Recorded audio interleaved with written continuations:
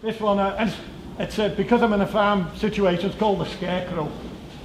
One or two of them about, I'll tell you. On one leg he stands alone in ragged clothes, he has no home.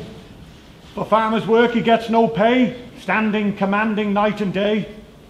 A battered hat keeps his head dry, the jacket is torn, has but one eye. Straw fills, straw his arms and belly fills, he has no need of fancy frills.